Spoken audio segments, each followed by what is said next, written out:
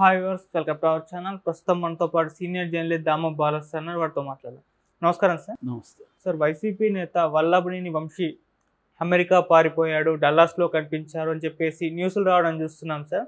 నిజంగా పారిపోయాడా? లేకుంటే ఇక్కడ ట్రిప్కి వెళ్ళి ఉంటాడా? ఏం జరిగింది సార్ అసలు? యా మామూలుగా ఇప్పుడు మన జగన్ వెళ్తేనే జగన్ పారిపోయాడు లండన్కి ఇక మీద రాడు అక్కడే ఉంటాడు ఎందుకంటే ఓడిపోతున్నాడు. ఓడిపోతే జైలుకి వెళ్ళాలి అందుకనే అతను స్పెషల్ ఫ్లైట్ వేసుకొని పారిపోయాడు అని చాలామంది రాశారు. మెయిన్ స్ట్రీమ్ తెలుగుదేశం ఛానళ్ళు కూడా దాని మీద డిస్కషన్ పెట్టాయి. బై బై అని హెడ్డింగ్ పెట్టి జగన్ పారిపోయాడు. ఆల్రెడీ నేరుగా లండన్ వెళ్ళకుండా ఆమ్స్టర్డామ్లోకి వెళ్ళాడు. ఆ నాలుగు గంటలు ఏమైంది ఎవరితో ఉన్నారు ఇవన్నీ రకరకాలుగా వచ్చాయి. ఫైనల్గా మళ్ళీ అదే మీడియానే ఏమీ తెలియనట్టుగా అక్కడ పర్మిషన్ రాలేదు కాబట్టి లండన్లో గేటన్న ఎయిర్పోర్ట్లో అక్కడికి వెళ్ళి ల్యాండ్ అయ్యారు మళ్ళీ వచ్చారని కామన్గా రాశారు. అదే చంద్రబాబు లోకేష్ కూడా వెళ్ళారు. వాళ్ళు వెళ్ళినప్పుడు అసలు ఎందుకు వెళ్ళారు?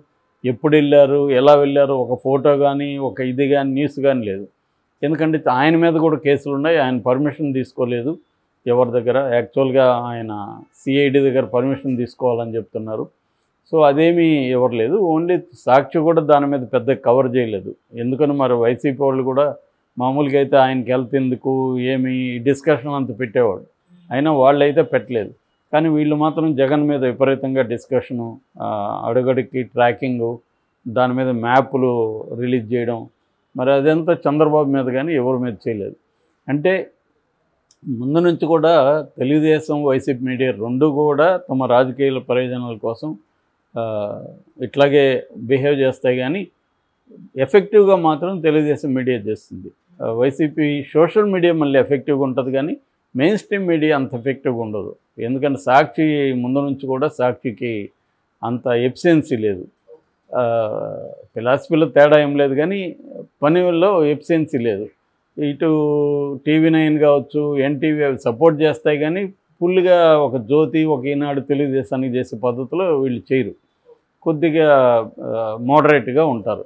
అందువల్ల మనం చూసినప్పుడు తెలుగుదేశం మీడియా చేసే విశృంఖల వీర విహారం ఇంకేం మీడియా చేయదు. మొన్న జగన్ది లేటెస్ట్ ఎగ్జాంపుల్. అదే చా అంతకుముందే లోకేష్ వెళ్ళాడు ఎవరికి తెలీదు న్యూస్ రాలేదు. చంద్రబాబు వెళ్తే కూడా ఎవరికి తెలీదు సింపుల్గా ఆయన ఆరోగ్య పరీక్షల కోసం వెళ్ళారు అని రాశారంతే. మరి అలాగే జగన్ కూడా వాళ్ళ కూతుర్ల కోసం వెళ్ళాడు. తేడా ఏముంటుంది? దీన్ని మాత్రం ఎందుకు చేశారు? అన్నప్పుడు ఇదే అనమాట ఇప్పుడు వల్లభనేని వంశీ మీద కూడా తెలుగుదేశం మీడియా ఇదే స్టార్ట్ చేసింది. వల్లభనేని వంశీ డల్లాస్కి వెళ్ళాడు అమెరికాలో. అక్కడ వాళ్ళ పిల్లలు చదువుకుంటున్నారని చెప్తున్నారు. వాళ్ళ పిల్లల్ని చూడడానికి ఆయన వెళ్ళాడు. ఆయనే కాదు చాలామంది ఇటు తెలుగుదేశం జనసేన వైసీపీ నాయకులు అందరూ కూడా విదేశాలకు వెళ్ళారు. ఎందుకంటే ఇరవై రోజులు గ్యాప్ ఉంది ఆ రిజల్ట్కి. ఈ లోపల కనీసం పది రోజులు పదహైదు రోజులు టూర్ వేసి రావచ్చు కదా అనేది ఎక్కువ మందికి డబ్బులు ఉంటాయి. ఆల్రెడీ విదేశాల్లో బంధువులు ఉండొచ్చు వాళ్ళ పిల్లలు ఉండొచ్చు. వెళ్ళడం అనేది కామన్ వాళ్ళకి. మామూలుగా కూడా అలవాటుగా వెళ్తుంటారు బ్రేక్ దొరికినప్పుడు. సో అలాగే వీళ్ళు వెళ్ళుండొచ్చు.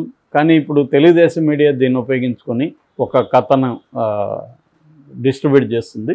ఆ కథ ఏంటంటే ఆ వల్లభనేని వంశీ గతంలో భువనేశ్వర్ మీద లోకేష్ మీద వీళ్ళ మీద కొంత అనుచితమైన వ్యాఖ్యలు చేశారు. అది అప్పట్లో ఎంత ఫ్లేర్ అయింది? చివరికి చంద్రబాబు ఓపెన్గా కన్నీళ్ళు పెట్టుకొని ఏడ్చి ఆ వీడియోస్ అంతా కూడా వైరల్ అయినాయి. సో అంటే వాళ్ళకి మెయిన్గా తెలుగుదేశంకి వైసీపీకి సంబంధించిన కొడాల నాని వల్లభనేని వంశీ వీళ్ళిద్దరి మీద ఎక్కువగా తీవ్రమైన ఆగ్రహం ఉంటుంది. ఎందుకంటే ఇద్దరు కూడా తెలుగుదేశం నుంచి వెళ్ళిన వాళ్ళే. వంశీ అయితే మొన్ననే వచ్చాడు. ఈయనన్న కొద్దిగా ముందుకు వచ్చాడు ఎవరు? కొడాలి నాని. సో వల్లభనేని వంశీ అయితే మున్ టూ థౌజండ్ నైన్టీన్లో కూడా తెలుగుదేశం తరపున గన్నవరం నుంచి ఎన్నికై వచ్చిన వ్యక్తి. సో అతను ఇప్పుడు వైసీపీ వైపు వెళ్ళాడు. సో కాబట్టి వెళ్ళే టార్గెట్ లోకేష్ కూడా వీళ్ళిద్దరి మీద చాలా నేను వస్తే వాళ్ళని కడ్డాయితో పంప్ తరుముతాను. ఇవన్నీ కూడా మాట్లాడాడు లోకేష్. సో అందువల్ల ఇప్- ఇప్పుడు ఏంటంటే ఓడిపోతానని అతనికి గ్యారంటీగా తెలిసిపోయింది. సో తను ఓడిపోయి వైసీపీ అధికారంలోకి రాకపోతే తనని ఖచ్చితంగా వీళ్ళు ఆడుకుంటారు అనేసి ఆయన పర్మనెంట్గా అమెరికాలో సెటిల్ అయ్యడానికి వెళ్ళిపోయాడు డల్లాస్కి అనేది ఇప్పుడు ఆంధ్రజ్యోతి ఒక కథనం రాసింది.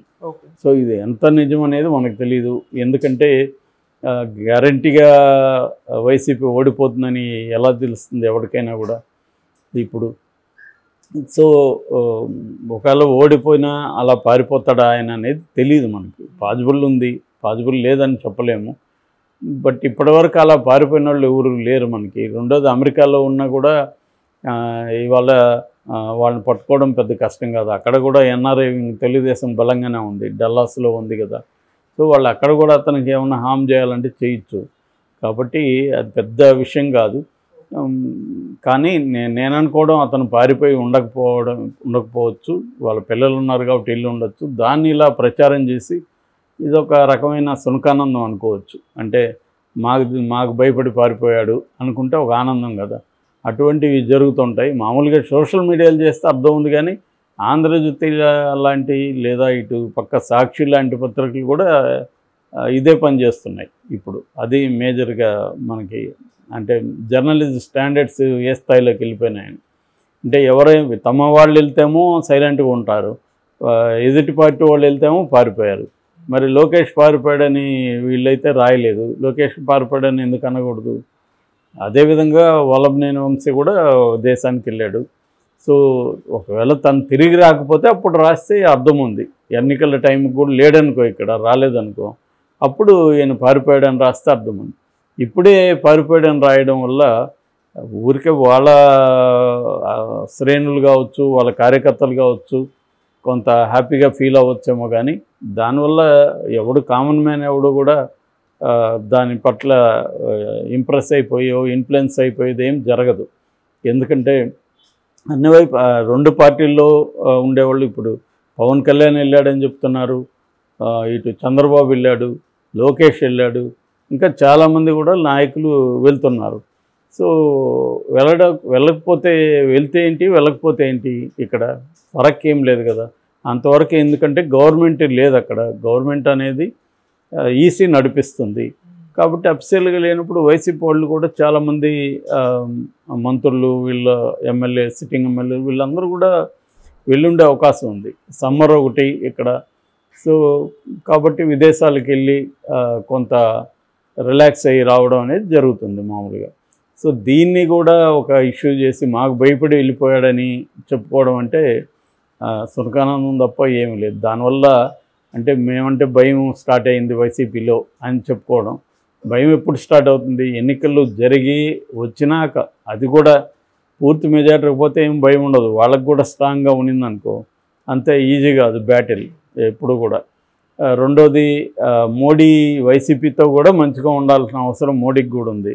సో సెంట్రల్లో వైసీపీకి అండ ఉన్నంత వరకు తెలుగుదేశం కూడా ఇక్కడ ఏం చేయగలదు? మహా అయితే చిన్న చిన్న గొడవలు చేయగలరు. దాన్ని ఎదుర్కోవడానికి వైసీపీకి కూడా గ్రౌండ్ లెవెల్లో ఆర్గనైజేషన్ ఉంది.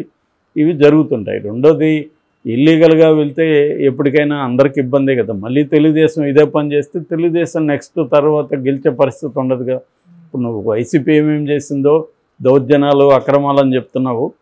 అదే తెలుగుదేశం చేస్తే ఇంక తేడా ఏముంటుంది? ఇంక వాళ్ళని అనడానికి వీళ్ళకేమి హక్కు ఉంటుంది?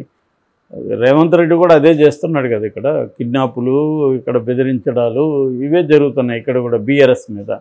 సో మరి రేవంత్ రెడ్డి గతంలో బీఆర్ఎస్ మీద చేసిన విమర్శలకు అర్థం లేదు.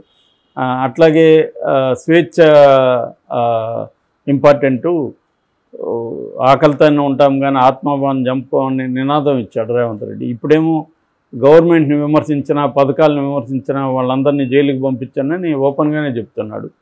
మొన్న జర్నలిస్టులకే చెప్తున్నాడు నీలాంటి వాళ్ళని ఒకరినిద్దరిని జైల్లో పెడితే కానీ మీకు బుద్ధి రాదు అంటున్నాడు. సో అధికారం వచ్చినాక ఎవరైనా ఒకటే అదే హరగోపాల్ ఆయనతోనే రేవంత్ రెడ్డితోనే ఇంటర్వ్యూలో చెప్పాడు ఎన్నికల ముందు. మీరు ఇప్పుడు ఇట్లా అంటారు కానీ మీకు అధికారంకి వచ్చినాక మీరు కూడా ఇలాగే అయిపోతారు. అని చెప్పాడు. అదే జరుగుతుంది రెండో వైపులో కూడా. రేపు తెలుగుదేశంకి వచ్చినా అక్కడ తెలుగుదేశం అధికారంలోకి వచ్చినా వైసీపీ మీద ఇదే రకమైన అరాచకాలు ఇంకా ఎక్కువ చేసినా ఆశ్చర్యం లేదు అక్కడ. Okay sir. Thank you so much.